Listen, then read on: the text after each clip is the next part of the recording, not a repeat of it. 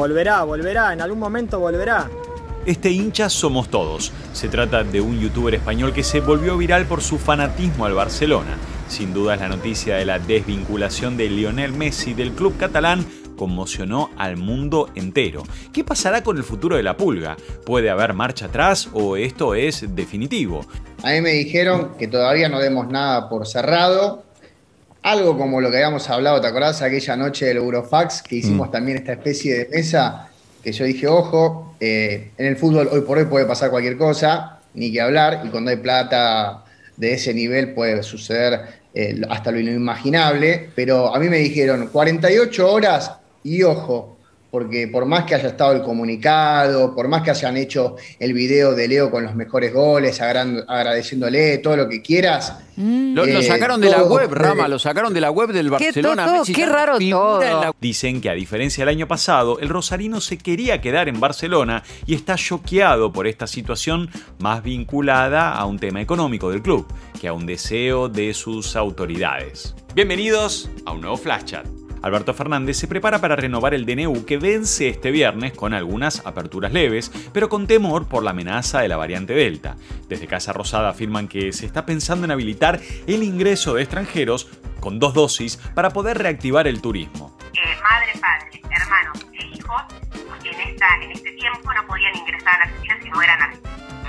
Hemos facilitado esta, esta opción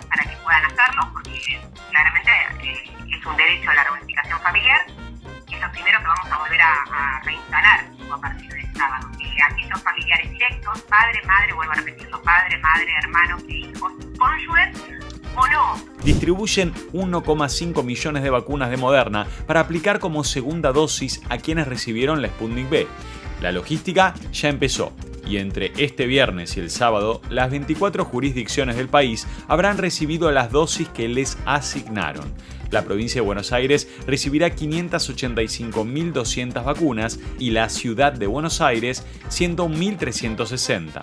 Dar una segunda vacuna, como es una vacuna RNA mensajero, como es la moderna, después de una vacuna vectorial de un virus de un vector viral como es eh, eh, Sputnik B o también es AstraZeneca, es eh, suficientemente seguro. Si las reacciones adversas fueron iguales, hemos tenido este resultado que nos da la garantía de que podemos intercambiar las vacunas y tenemos una alternativa eh, en tiempo para ofrecerle a las personas que todavía no han podido recibir su vacuna de Sputnik. El Ministerio de Salud confirmó este jueves 276 nuevas muertes por coronavirus en Argentina en las últimas 24 horas.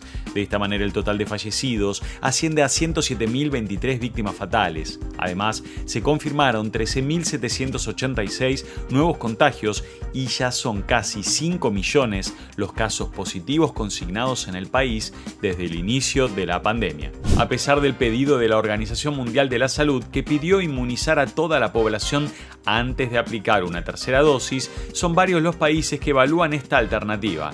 Francia anunció que administrará una tercera vacuna a grupos de riesgo a partir de septiembre. C'est pourquoi nous nous préparons, comme d'ailleurs les autres pays européens, à faire cette troisième dose pour euh, les personnes qui sont les plus âgées et les plus fragiles. Et nous le ferons à partir de la rentrée. Donc oui, vraisemblablement une troisième dose, et plutôt pour les plus fragiles et plus, les plus âgés à ce stade, et on apprend à chaque étape. Israel empezó con la tercera dosis el viernes pasado a mayores de 60 años y Alemania, Estados Unidos e incluso Uruguay evalúan esa posibilidad.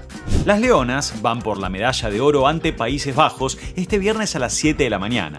Las dirigidas por el Chaparretegui la tienen difícil.